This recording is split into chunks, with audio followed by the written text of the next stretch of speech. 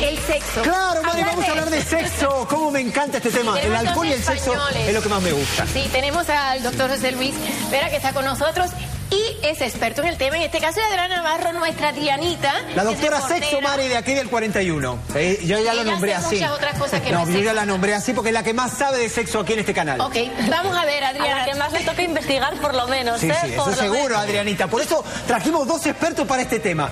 El punto G, las mujeres. Yo no entiendo nada, Mari. Y después, el fingir. Pero antes del punto G, tú sabes que las mujeres muchas veces, especialmente porque no se encuentra ese punto, entonces fingen, voy a decir fingimos. Pero son yo, mentirosas Pero el problema es que son ustedes los que no lo encuentran, entonces uno tiene ya para que ¡Ay, digan. ahora somos nosotros! Las Claro. mentirosas son ustedes. Pero porque nosotros lo ustedes- podemos fingir. No, en cambio, ustedes ustedes sí. lo suyo nada más y no buscan el tiempo para complacer No, a su yo- pareja. Vamos con este experto a ver quién tiene la razón. Ay, ya parezco la doctora Nancy Álvarez. Digo, ya me equivoqué. Adriana, Que ¿qué has las mujeres fingen es una realidad. Es cierto que cuatro de cada cinco mujeres fingen. Los ¡Cuatro de cada cinco! Cuatro Wow. de cinco, sí, cada cuatro, ca- cuatro de cada cinco. No, qué fingen. mentirosas Pero que hay son. que ver también las razones por las cuales las mujeres están fingiendo. Y muchas veces las razones sois vosotros. Ay, ahora que también. no Dale, Adriana, dale, dale. ¿Cuáles son las razones? Mira al otro lado. Muchas veces son por razones humanitarias. A lo mejor el hombre no es capaz. razones humanitarias porque Humanitarias. no le quieren hacer sentir Eso mal te al hombre. muy bien. El hombre no es capaz de conseguir que ella pueda tener un orgasmo. O simplemente el hombre es precoz, se va a ir antes, por así decirlo. Entonces la mujer, para evitarle esa vergüenza, pues lo finge también. Pero mira, estamos en el cuarto Qué de maquillaje buenos y ahora quiero la opinión del doctor y todo el mundo estábamos conversando sobre eso y hubo una mujer que no voy a decir cuál es, dijo, en una de nuestras maquillistas, dijo, pero es mejor hacer un quickie antes, rápido, para que ya él se tranquilice, llegue a lo suyo y entonces puede darme todo el tiempo que yo necesito.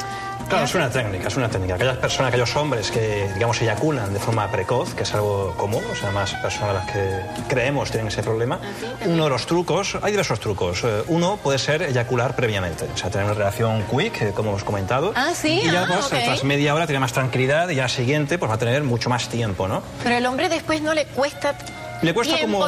Depende de la persona. Suele ser entre media hora, una hora, una cosa así. Que mientras se puede jugar, se puede acariciar a la mujer, caricias, Está que es muy eso, importante ¿no? para crear una estimulación emocional importante entre la pareja, que es fundamental. Pero también el quickly se usa para, para calentar la situación en el sentido de que hay gente que le gusta nada más que eso. En la cocina, medio ahí con el Hay pantalón gente que medio no así. tiene tiempo. Y hay gente con la que pasa hoy en día, Mari, que no hay tiempo. Adriana se ríe. Sí.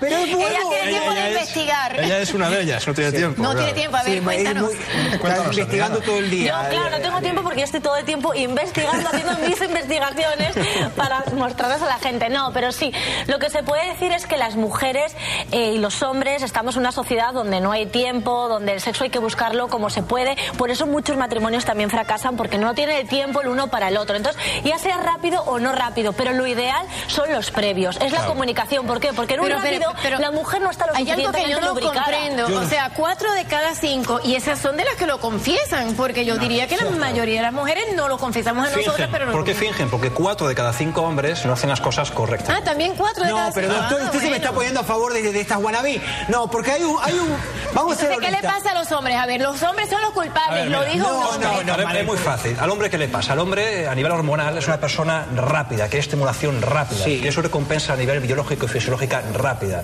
Él busca la penetración rápida. Eso es un grave problema para la mujer. La mujer necesita más tiempo, Pero no todos más los hombres son emociones. así de rápidos, ¿eh? Claro, eh, uno de cada cinco o dos de cada cinco hacen las cosas bien, el resto no. Sí. De ahí que el porcentaje de Y la insatisfechas culpa sea no es de la mujer que inversa. no le ha enseñado, que no le ha dicho, que tiene pena de decirle dónde está ese Bueno, la culpa realmente no la tiene nadie. Es falta de información, falta de educación sexual, básicamente. Es que sí es cierto, yo desde que estoy haciendo estos segmentos me estoy dando cuenta que la falta de información sexual es tremenda. ¿Por qué? Porque la gente no se atreve a comentarlo. La gente es más, las parejas no se atreven a hablar el uno con el otro. Cuando hablábamos del punto G, que hay que buscarlo, que hay que estar ahí. Pero Padrino, ¿por qué tú crees que uno- les da una mujer no le dice al hombre, ¿sabes qué? Mi vida te fingí, hoy te mentí, te engañé como un pil perro porque no me gustaba. Porque se ¿Por qué no se lo dice Por en la miedo cara? a morir el amor, Porque por es miedo que a se morir. muere, el hombre se muere, o sea, el ego, la hay algo que, yo creo, no, no necesariamente el destino es más placentero que el camino. Entonces yo creo que hay que, no necesariamente tienes que estar nervioso, que si no llegas al clímax, no necesariamente quiere decir que no te vas a, a disfrutar la relación, ¿no? Por supuesto, no necesariamente. Hay que disfrutar el camino, tienes toda ¿El la razón. camino? Pero para disfrutar el camino también hay que enseñarles, o la comunicación entre el hombre y la mujer, de qué te gusta, qué quieres. Bueno, no ¿dónde tienes la está el punto? de Porque decirlo. hay gente, yo no recuerdo si es Master Señosos o el otro, que dicen que era un mito, que lo del punto G no existe, pero tú dijiste en tu reportaje exactamente dónde está, dónde está. Sí, bueno, primero hay que tener en cuenta que una mujer es como un carro, no puedes poner la quinta marcha de principio y correr. O sea, primero hay que ir, la primera me refiero a nivel biológico, a nivel sexual. No me gustó eso del caso, Primero, no, no, pero bueno. no, no, la mujer es maravillosa, es un ser Ah, extraordinario, ok. pero a nivel fisiológico, a nivel sexual, hay que ir poquito a poco. O sea, Ok, primera ¿dónde marcha, está, ¿dónde está el punto? segunda marcha, el punto G está en la vagina. Si nos imaginamos Mari, Eh, perdón, perdón. Hablando del punto G, mire quién llegó, mi punto ¿Sabes G. dónde está tu punto G, mi vida? No, pero me enseña a descubrirlo, mi amor. Yo te voy a enseñar a descubrir el H. No, tu G no tiene, mi vida. no tengo piedra. El. Pero bueno, siéntate conmigo ya. Yo me voy a poner cachondo en esta situación porque me Siempre gusta. estás cachondo, perdón. Pero lo único que te voy a pedir es que no finjas conmigo. Siempre. Jamás. No me mientas, ¿eh? Jamás puede, Ah, ok. podré. Ah, menos mal. Tú eres un hombre demasiado. Sí, yo- Demasiado. Ya me da coco esta Ok, mujer, Regla, Mari. pre- presta atención que él te va a decir Perdón. dónde está. A ver, para que tú le atenta, enseñes. a ver está en esa carrera. Eso ¿Dónde es. está? Vamos a imaginar la vagina, es este cilindro, ¿de acuerdo? Esta es la entrada de la vagina. Pues más o menos, eh, si metemos el dedito a unas dos pulgadas desde su comienzo, en la parte superior, es decir, por aquí arriba, ahí está el punto ozonaje. A unas dos pulgadas Oh, mira, ahí entramos está por la la vagina. gráfica. ¿Te hago un Ahí mapita? está, ahí Oh, está. ahí está, mira. Y Eso de hecho es. comentabas también eh, el hecho de que cuando estimulas el punto G y tienes un orgasmo, se produce también una especie de eyaculación similar Eso a la de, ¿De la a la mujer? hombre. Efectivamente. Sí. Y entonces ahí viene la lubricación. No, no, la, No, lubrica- la diferente. lubricación es diferente. La lubricación es un líquido que la mujer secreta cuando está excitada, con objeto de preparar la pared vaginal para la penetración. Ok. ¿vale? Ahora bien, si logramos estimular el punto G de forma adecuada, que con el pene es muy difícil, eh, lo ideal es con los deditos, con el dedo índice o anular, como, como aparece en la imagen, introduciendo el dedito y en dos Pero pulgadas entonces, a ver, aproximadamente. entonces yo me pregunto, ¿qué pasa con la fisiología humana que si con el pene dices que es difícil encontrarlo? Entonces hay algo que Con el estuvo mal en pene, la bueno, creación. hay diferentes tipos de pene. El pene ideal es un pene curvo hacia arriba. Un pene curvo hacia arriba No, va a eh, facilitar... anota, anota que eso es importante. Claro, eso es importante. No, o sea, el que va así, tipo, Eso es. tipo banana, una cosa así.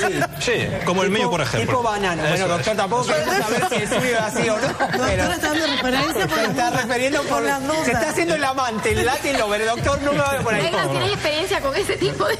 Con la del doctor, no. Sí, con la- Ah, no, Pero No, no, ¿cuál no, el no, En la, imagen, en la imagen se ve muy claramente, Oscar. O sea, se trata de introducir el dedito, unas dos pulgadas. Si la mujer está excitada correctamente, se va a sentir en la parte superior una zona esponjosa, aproximadamente de unos 2 centímetros, un centímetro de diámetro, Ah, de esponjosa, claro, más grandecita. Esa es la que hay que frotar con movimientos circulares. Haciendo el movimiento de vaivén, como diciendo ven hacia acá, Ven ven hacia hacia, acá. Ay, Eso es. Aquí ¿cómo estoy. es?